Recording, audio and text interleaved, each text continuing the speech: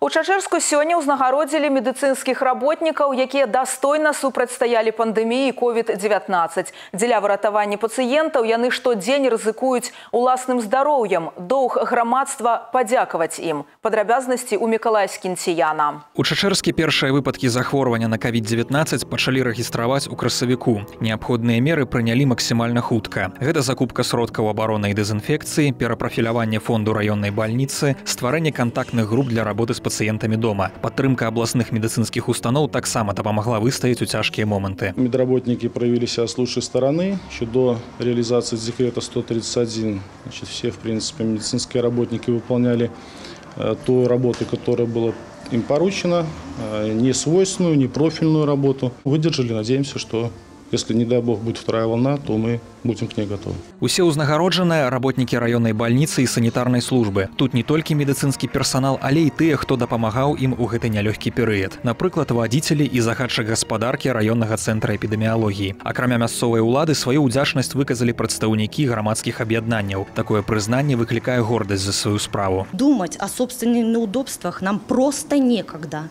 потому что там, за дверью, нас ждут очень тяжелые пациенты, которым нужна наша помощь. И вера в то, что они скоро выздоровят, и все будет хорошо. Все зависит от людей. А люди у нас работают в учреждении грамотные, квалифицированные, сознанием дела, умеющие оказать медицинскую помощь в любой ситуации. И поэтому нам удается справляться с данной ситуацией э, на всех, на всех этапах оказания медицинской помощи. Матэрыяльная дапамога неабходна, каб у медыкаў былі ўсе ўмовы для якаснай работы. Так лічаць і мясцовыя прадпрыемствы. Адкрытыя акцыянерныя таварыствы Отар і Зорка ўручылі раённай бальніцы і цэнтру эпідэміялогіі сертыфікаты на 10 і 4 тысячи тысячи рублёў. Для устаноў гэта добры імпульс для далейшага развіцця. Грамадства разумее, медыкі заўсёды павінны адчуваць, як высока іх цэняць. Мікалай Скінцян, Александр Харлампаў, тэлерадыёкампанія Гомель.